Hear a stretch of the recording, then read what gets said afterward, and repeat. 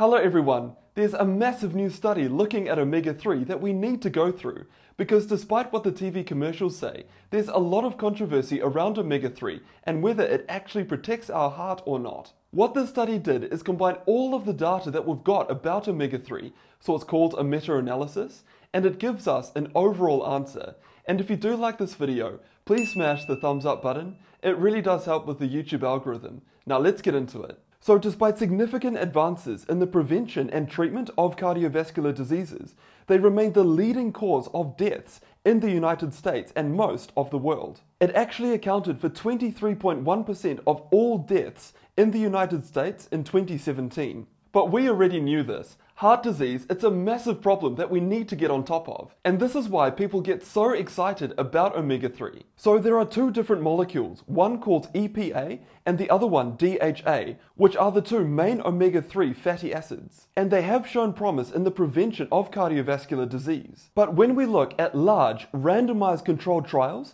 they found inconsistent results. So these studies are top of the top they're well designed and they're placebo controlled, and they didn't give us a clear cut answer as to whether omega 3 actually helps prevent cardiovascular disease. So let's go through the biggest three. So the first one that we'll look at is called the Ascend trial, and it looked at over 15,000 diabetic people, and that study found no reduction in cardiovascular risk with omega 3. And that's a truly massive trial. So we would have thought that if omega-3 is as good as what the media says it is, we should be getting a massive reduction in cardiovascular disease, but that's not what the Ascend trial shows. The next big trial is the vitamin D and omega-3 trial, or the VITAL trial, and it was over 25,000 people, where it looked at healthy adults there was a 7% reduction in cardiovascular disease, but it was not statistically significant. What was unexpected about this trial is that there was a 28% reduction in the risk of heart attacks. So that's a massive reduction in heart attack risk.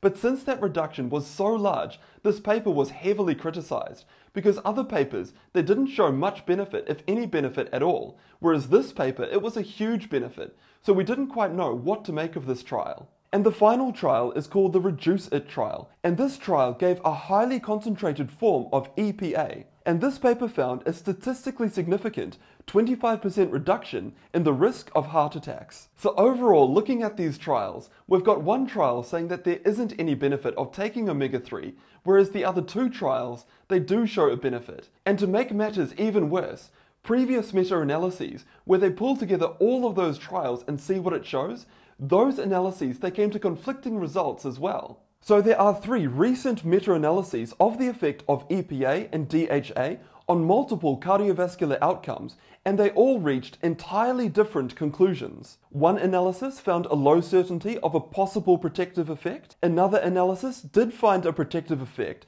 but they dismissed it as uncertain after using a very conservative hypothesis correction. And to cap things off, the final meta-analysis did show an 8% risk reduction. So we've got two analyses that don't show much benefit and one analysis that does. So what's going on? Why are there so many conflicting reports? Well, the reasons for this variability among the results of the randomized controlled trials, they're not very well understood, although a number of possible explanations have been proposed. So one of the reasons could be the potential interference of omega-3 mechanisms of the action by modern cardiovascular prevention and treatment, especially the use of statins and statin doses. There also may be differences in how much omega-3 a population already has, as well as how compliant that population is on taking omega-3 supplements. So for example, if one population already has a lot of fish in their diet, they probably already have a lot of omega-3 in their bloodstream, so supplementing it might not give that much benefit. And the final potential reason of all of this conflicting data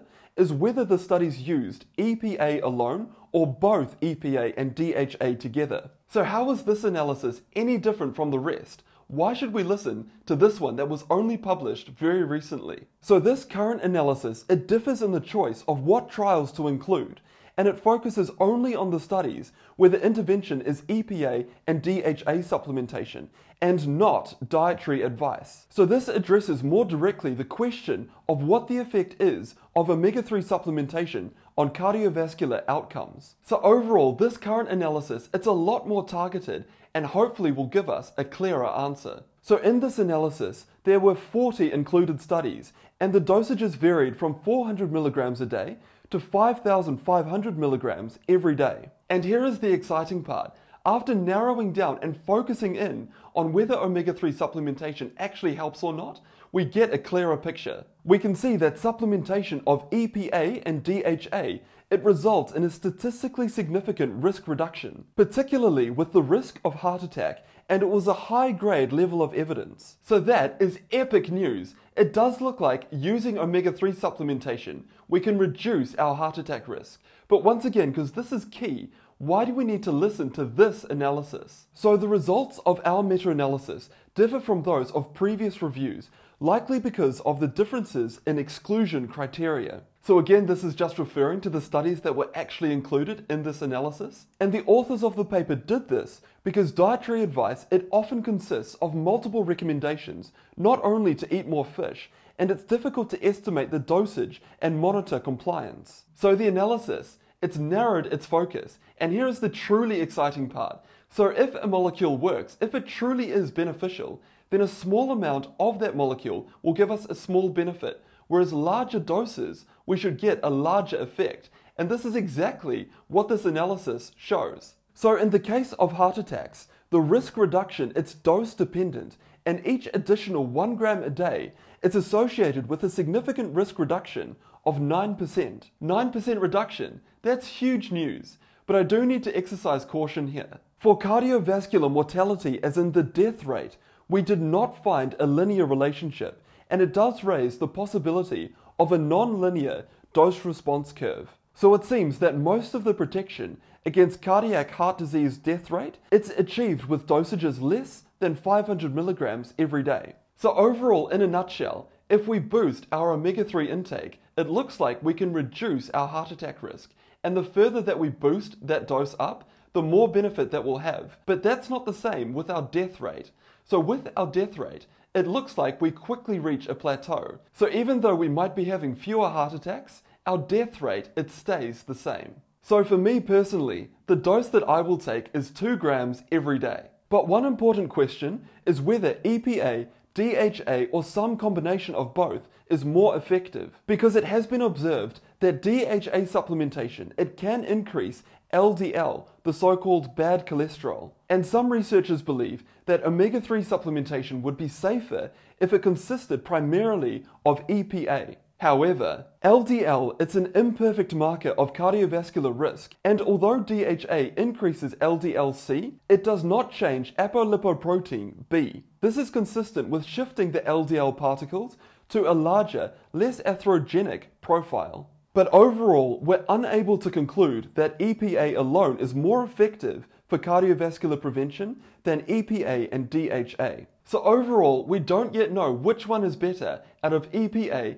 and DHA. So despite what you might read on other blogs or other websites, we just don't know. And again, this is the latest evidence that we've got. And before we go into the omega-3 brand that I personally take, I do want to mention a couple of other points. So there is a commonly held belief that earlier interventional trials found a larger cardiovascular protective effect for EPA and DHA, but that later trials found a smaller risk reduction. And some of the potential reasons for this is that the new trials benefit in advances of study design. And like we mentioned earlier, the prevention of cardiovascular disease has changed dramatically in the last three decades. But when this analysis used the year of publication as a predictor of cardiovascular disease and omega-3 supplementation, they failed to find a significant relationship. And that's why this analysis, it included 40 different trials. It didn't just include the most recent ones, it included all of them, all of the ones that met that inclusion criteria.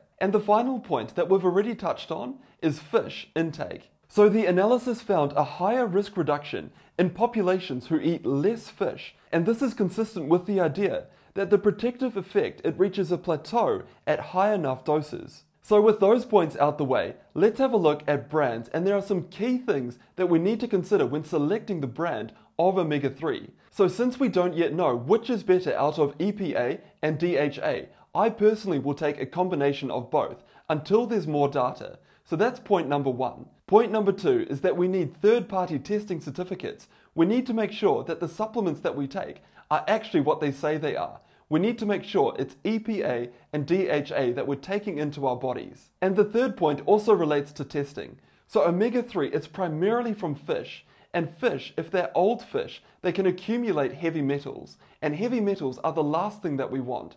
So when we're looking at a brand, we need to make sure that the omega-3 has very low heavy metal content. So when I went on to a third-party testing website, at the top of the list is WHC, UnoCardio. And the cheapest one on Amazon is the version that's got some vitamin D mixed in with the omega-3. And we can see from this certificate, we actually are getting EPA and DHA. And if we have a look at the heavy metal content, it's very low. So personally for me, this is the brand that I've chosen. It's third party tested, I know exactly what I'm getting, and there's a very low heavy metal content. And if you do want to see all the supplements I currently take, please check out this video's description.